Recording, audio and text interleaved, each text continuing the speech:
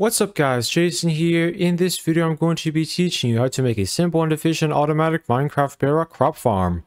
This farm works on 1.20 and on all platforms of Minecraft Bedrock whether you play on phone, tablet, Xbox, PlayStation, Nintendo Switch, or PC.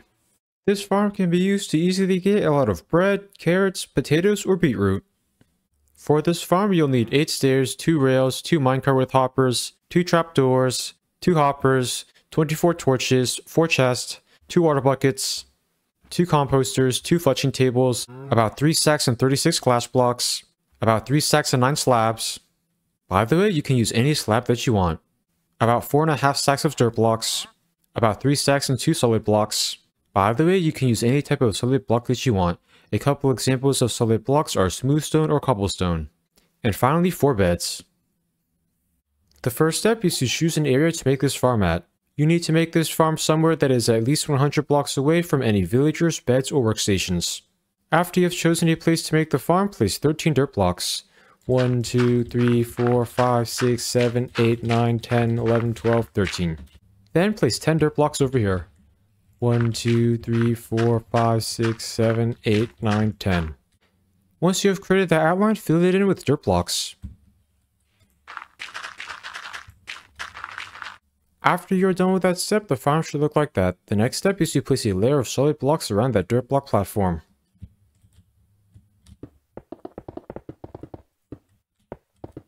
The next step is to place two glass blocks in one corner. Now extend this two block high glass block wall around the farm.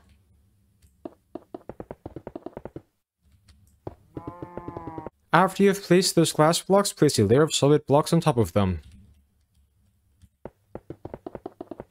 Once you are done placing the solid blocks, go over to this corner. Then count 7 blocks to the left. 1, 2, 3, 4, 5, 6, 7. Now place 2 blocks over here. Then place 2 blocks over here, and 2 over here as well. Then place a glass block at each of these spots. After you have done that, place a solid block at each of these spots. The next step is to break these two blocks. Now place two chests over here. Now go over here. Then break these three blocks. Then crouch down and place a hopper at this spot. Make sure the nozzle of that hopper is pointing towards that chest. The next step is to place a trapdoor at this spot. Then place a block over here and two rails over here. Now place a minecart hopper at this spot. Then push it on top of the hopper. Once you have done that, break these rails and this block.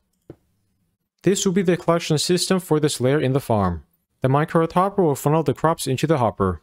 Those crops will then get funneled into that collection chest. The next step is to count 6 blocks back from this spot. 1, 2, 3, 4, 5, 6. Then place two blocks over here. Once you have done that, count two blocks to the right of this spot. One, two. Then count one block down. Then replace this block with a stair. Then count four blocks to the left of this spot. One, two, three, four. Then replace this block with a stair. Now count two blocks forward. One, two. Now replace this block with a stair. Finally, count 4 blocks to the right of this spot. One, two, three, four. Now replace this block with a stair. At this point, you should make an infinite water source. To do that, first go somewhere near the farm. Now place blocks in this formation. Then place water over here and water over here. By creating that infinite water source, you will be able to use two buckets to fill in all the water for the entire farm. Now place water in each stair.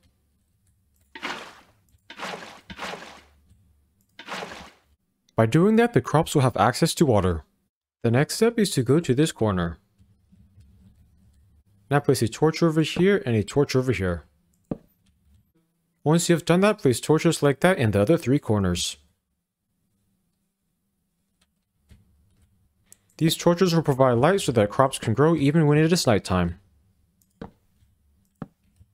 After you are done placing those torches, place a torch at each of these spots.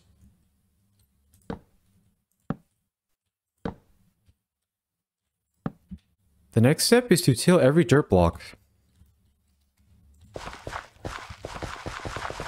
By doing this, you'll be able to plant crops.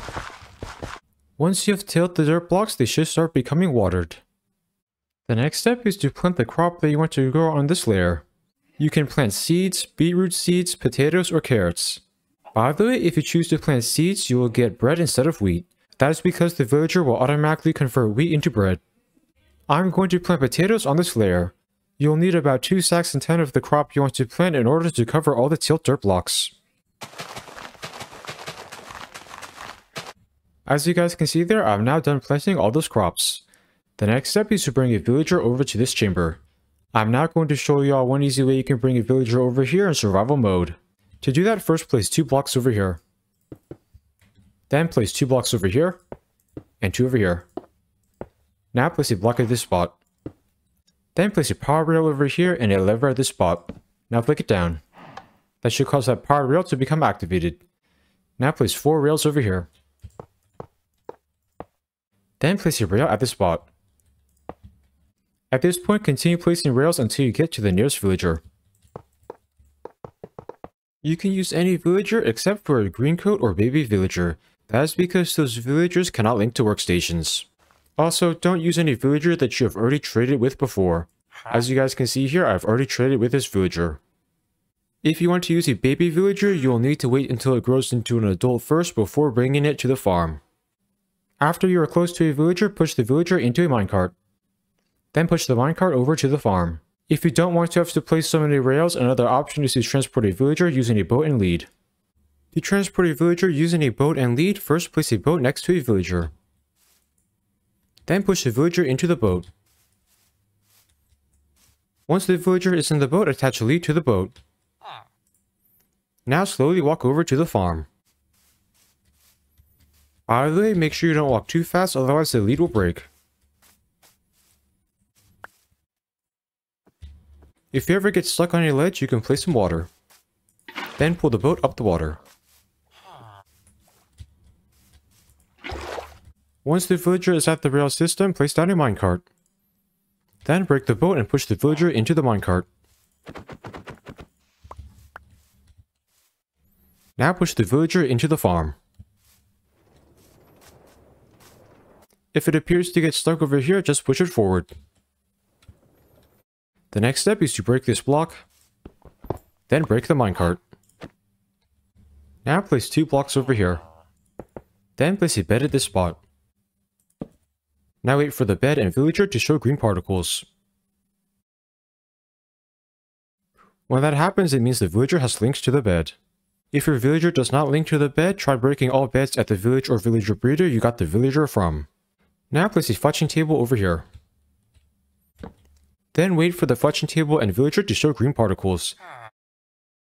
Once that happens, it means the villager has linked to the fetching table. If you got this villager from a village and can't get it to link to that workstation, try breaking all workstations at the village you got it from. Then trade with the villager one time. By doing that, the villager will not lose his profession. Then break this workstation. The next step is to place a block over here and rail at the spot. Then bring another villager over to this spot. Once there's a villager over there, place two blocks over here. Then place a bed at this spot. Now wait for the bed and villager to show green particles. After the villager has links to the bed, place a composter over here. Then wait for the composter and villager to show green particles. That means that the villager has links to the composter. Then trade with this villager one time. That'll prevent it from losing its profession. Now break the composter. At this point, break these two blocks, then push the villager into the farm. Then break this minecart. Then break this part of the rail system.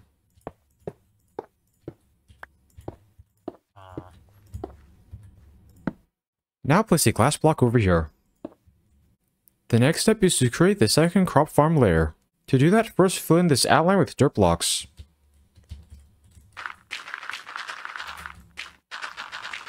Once you have done that, the farm should look like that.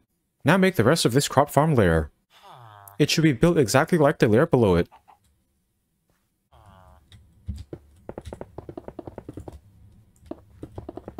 By the way, you can grow a different crop on this layer. I'm going to grow carrots. By the way, if you have trouble getting the villagers to link to workstations, try placing multiple workstations. If you choose to do that, make sure you break the workstations later. Once you're done with that step, the farm should look like this. As you guys can see here, this second layer is exactly the same as the first layer. Make sure you link to the villagers to the beds and workstations correctly. Also, make sure you trade it with them to prevent them from losing their professions. At this point, you can break any rail system and infinite water source you made near the farm. The next step is to create a roof out of slabs. By doing this, you'll prevent the villagers from getting struck by lightning. Once you're done with that step, the farm should look like that. At this point, link any farmer villager on a layer that has beetroot or wheat to a composter on the same layer. For example, the top layer of this other crop farm I made has wheat. To link a farmer villager on a layer to a composter, first place a composter over here. Then wait for the composter and villager to show green particles. If the composter shows green particles but the villager doesn't, that means that the wrong villager has linked to it. If that happens, you'll need to place another composter over here. Then wait for it to show green particles. Since that composter and villager showed green particles, I know that villager has linked to it. Once you have done that, break any composter on this layer that is not linked to that villager. The reason why you need to link farmer villagers to composters on layers that have wheat or beetroot is to prevent their inventories from getting clogged with seeds. I'm now going to do a quick fly around so you can check and make sure you've made this farm correctly. The front should have these villager chamber collection systems. In there, there should be the farmer villagers and the crops.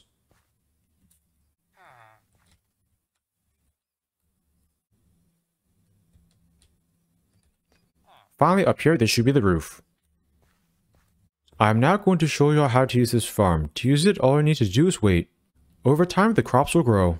Whenever a crop is fully grown, a farmer villager will harvest it, then replant it. It will collect the extra crops in its inventory.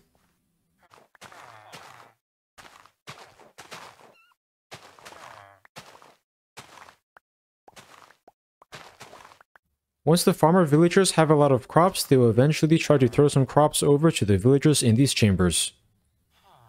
Whenever they do that, the crops will get collected by the minecart hopper, funneled into the hopper, and funneled into the collections chest.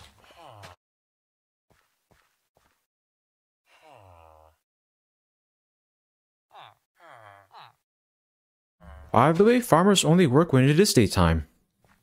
Whenever you want to collect the crops, all you need to do is open these chests. If this farm does not work for you, try giving the villagers some of the crop that you wanted to harvest. Also, try waiting for one in-game day. If this farm still does not work, try replacing all the villagers with villagers you know have empty inventories. If you do that, remember to link the villagers to the beds and workstations correctly and trade with them. One way you can get villagers with empty inventories is by making a villager breeder. A link to my easiest villager breeder tutorial is in the description. I hope you enjoyed learning how to make this simple and efficient Minecraft Bedrock crop farm. Please like, comment, subscribe, and check out other Minecraft videos. Thanks for watching.